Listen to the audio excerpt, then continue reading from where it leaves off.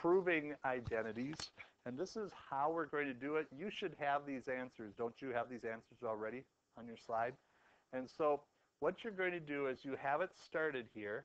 And then what you're going to say is, do I know any of these trig definitions or Pythagorean identities? Do you see a trig definition here? What's cosecant equal to? 1 over sine of theta. Yep. And that'll be equal to. And this is a trig definition. I'll want you to write, you can do this right now, write trig definition. It's one of the trig definitions that cosecant theta is 1 over sine. Well, algebraically, what's going to happen next? What's 1 over 1 over sine? Sine, isn't it? Okay? Now, here's the part you're going to struggle with a little bit.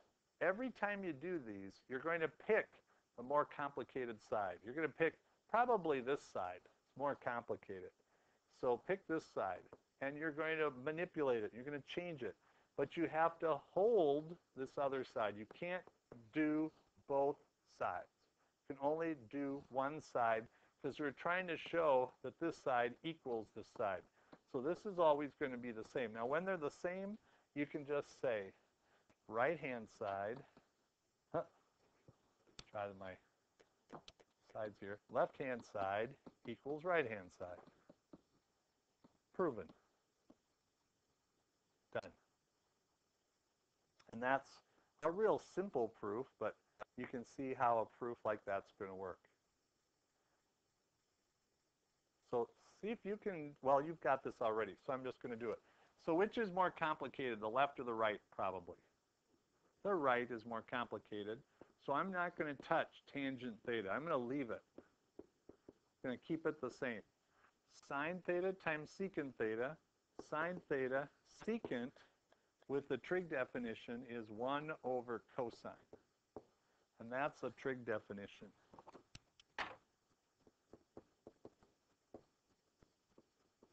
Okay, so then I'll just go sine theta over cosine theta.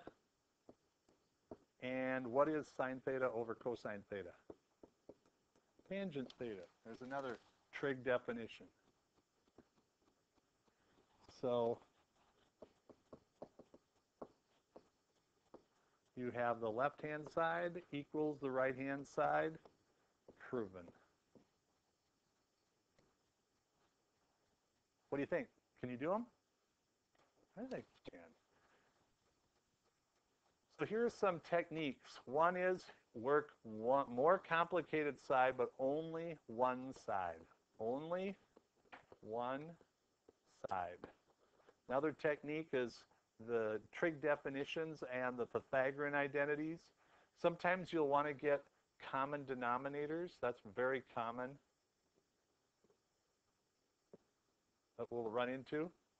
Uh, Pythagorean identities, we'll use those. And probably the most helpful thing, okay, so um, let's do a couple of quick practice ones. Cosine secant equals 1. Try these two. Did you get to a starting spot for this one? What did you do for a first move? Cosine, obviously you did this complicated side. Cosine theta times what? Oh, secant, what's that? 1 over cosine theta. Good. And that is a trig identity.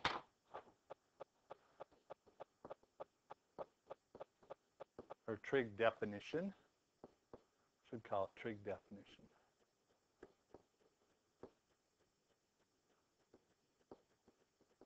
Okay. Then You can use alpha. So what's cosine divided by cosine equal to, algebraically? 1. So left-hand side equals right-hand side. Proven. Not going to happen very often. It's that easy. But it's a good. It's it's a good start. Uh, what did you do with what did you do with 88? Which one did you use as the one you want to hold? left, yeah, you're going to keep this one and change these. So here's what I did. I kept cosine theta over sine squared theta. Cosecant I changed to 1 over sine. Cotangent cosine over sine. And then I just multiplied them out, and you got it. So this is the trig definition for both of those, and left-hand side equals right-hand side. Proven. Oh, proven. Square root of proven.